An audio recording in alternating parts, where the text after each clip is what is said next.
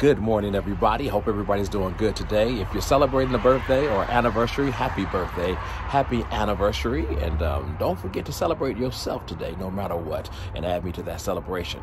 Uh, your four year term. So, when uh, President Barack Obama left the White House um, four years ago, and uh, Donald Trump became the president, there were a whole lot of bad feelings about that. And I went on radio and I encouraged people listen no matter who is in the White House and whatever's going on in the White House, I want to remind you all that it matters more what goes on in your house than the White House. And over the last four years, I've watched you do some tremendous things, some great successes I've watched. Um, we went hard too, and we modified through the law firm more mortgages over the last four years than in the previous year. So it doesn't matter as much you know, what's going on in the White House as it matters what's going on in your house. For instance, over the eight years of President Obama, it was a great time. How many of you all got great credit or perfect credit? See, we give ourselves not enough credit for what we can accomplish and what we can do. What's happening in our house actually empowers the White House. That's right. So we have to think inside out, not outside in. And these next four years can be great. But I can tell you, my last four years were great. And then the four years before that, and the four years before that, because I have done well under Democrat or Republican presidencies, no matter who's in the White House. The Bible says, as a man or woman thinketh, that's who they are. So I don't want us to forget that we're in more control over what happens in our lives than we may understand. And over the next four years, we wish well and pray for the leader that's there. Yes, we do, Joe Biden, just like we should have been praying for the leader before. It doesn't matter because ultimately God is in control.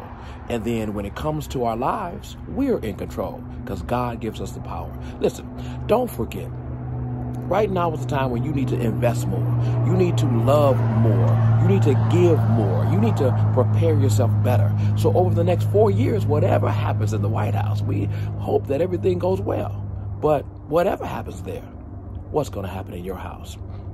What are the connections going to be with your family, your friends, um, your children, how they're raised, and um, your credit scores, and um, your savings account, and your generational wealth? How many of those ideas that you have and the business ideas are you going to bring to fruition over the next four years? That's how we measure our four year term. So, what's going to happen over your next four years? What is your four year term going to look like? Some of you all remember when I went on radio after President Obama left the White House and Donald Trump came in and all the bad feelings then. You can remember what I said on the radio. I said, listen, it's about my four year terms. I had t shirts printed and everything about that.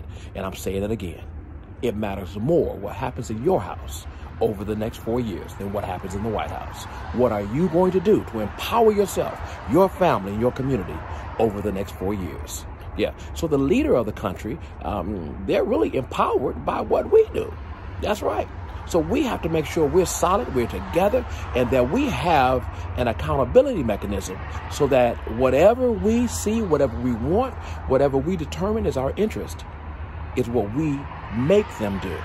Frederick Douglass said that power concedes nothing without a demand. It never has and it never will. So what are you going to do over your next four years? What is your four-year term going to look like? Listen, I wish you well today and every single day, and you have a great day.